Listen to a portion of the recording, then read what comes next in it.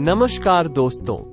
आज हम बात करेंगे घोड़ों के बारे में, और जानेंगे कुछ रोचक तथ्य जो आप नहीं जानते होंगे। दोस्तों, आगे बढ़ने से पहले इम्पोर्टेंट रिक्वेस्ट है। कृपया आप हमारे YouTube चैनल को सब्सक्राइब कर दे, ताकि आपको हमारे आगे आने वाले वीडियो के बारे में सबसे पहले पता चल सके।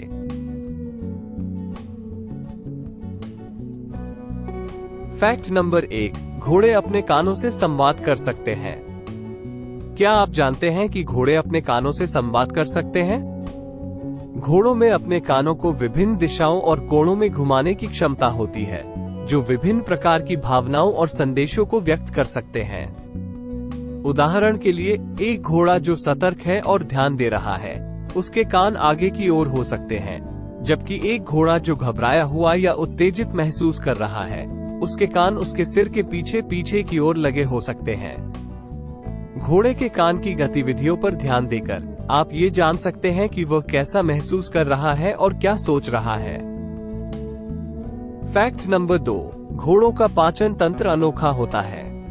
घोड़ों में एक अनोखा पाचन तंत्र होता है, जो उन्हें कई अन्य जानवरों से अलग करता है। घोड़े शाकाहारी होते हैं, जिसका अर्थ है कि वे केवल पौधे खाते हैं। पौधों में पाए जाने वाले कठोर सेलुलोज फाइबर को तोड़ने के लिए घोड़ों के पास एक जटिल पाचन तंत्र होता है, जिसमें एक बड़ा सीकुम और कोलन शामिल होता है। इससे उन्हें अपने भोजन से जितना संभव हो उतना पोषण प्राप्त करने और चारे के आहार पर जीवित रहने की क्षमता मिलती है। फैक्ट नंबर तीन, घोड़ों में गंध की अविश्वसनीय सेंस होती है। घोड़ों में गंध की अद्भुत क्षमता होती है, जो उन्हें एक मील दूर से भी गंध का पता लगाने की अनुमति देती है। ऐसा इसलिए है क्योंकि घोड़ों के पास एक विशेष घ्राण प्रणाली होती है जो विभिन्न गंधों के प्रति अत्यधिक संवेदनशील होती है। वे गंध की इस भावना का उपयोग अन्य घोड़ों की पहचान करने और अपने वातावरण में शिकारियों या अन्य संभावित खतरों का पता लगाने के लिए करते हैं।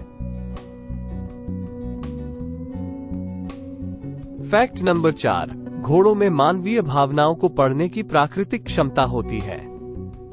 जो उन्हें महान साथी और थेरेपी जानवर बनाती है।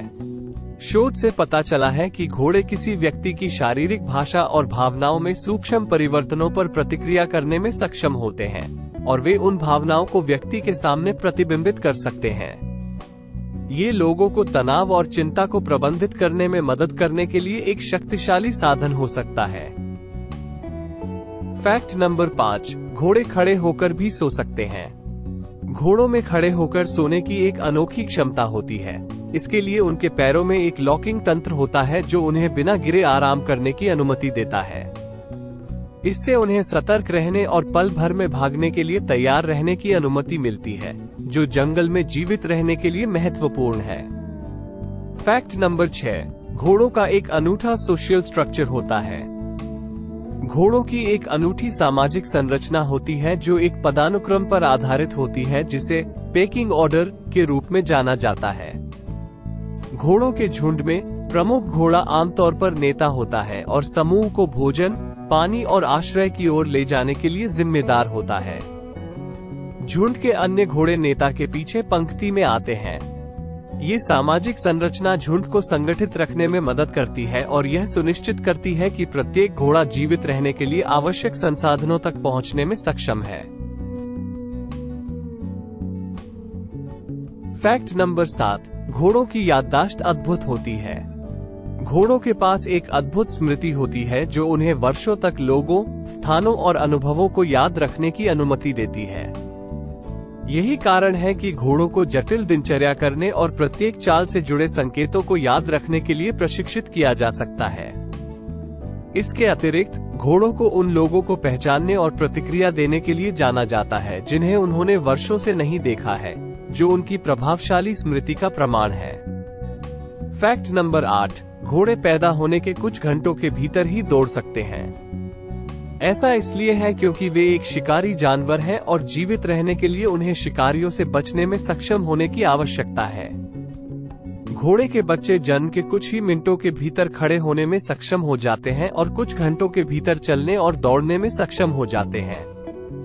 इतनी कम उम्र में दौड़ने की यह क्षमता जंगल में उनके जीवित रहने के लिए महत्वपूर्ण है।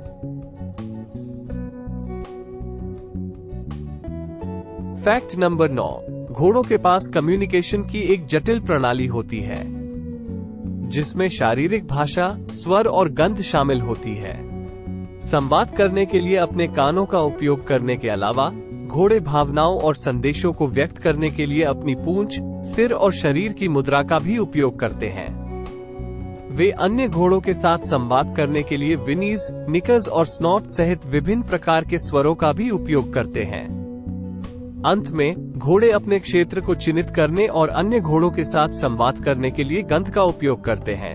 प्रत्येक घोड़े में एक अनोखी गंध होती है जो झुंड में दूसरों को इसकी पहचान कराती है। फैक्ट नंबर दस, हज़ारों वर्षों से घोड़ों को पालतू बनाया जाता रहा है। घोड़ों ने मानव इतिहास में महत्वपूर्ण भूमिका निभाई है। परिवहन और कृषि से लेकर युद्ध और खेल तक घोड़ों का उपयोग पूरे इतिहास में व्यापक उद्देश्यों के लिए किया गया है। आज भी, घोड़ों का उपयोग इन्हीं अनेक उद्देश्यों के लिए किया जाता है, जैसे हम करते हैं।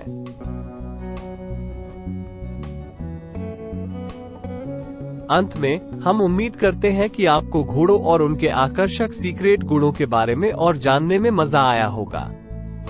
आपको सबसे दिलचस्प तथ्य क्या लगा? हमें नीचे कमेंट में बताएँ। और हमेशा की तरह, अगर आपको यह वीडियो पसंद आया है तो लाइक बटन पर क्लिक करना और हमारी चैनल को सब्सक्राइब करना ना भूले, ताकि आपको हमारे आगे आने वाले और भी ज़्यादा इंटरेस्टिंग कंटेंट के बारे में सबसे पहले पता चल सके। अधिक जानकारी के लिए हमारी वेबसाइट फैक्टोबर को विज़िट करें।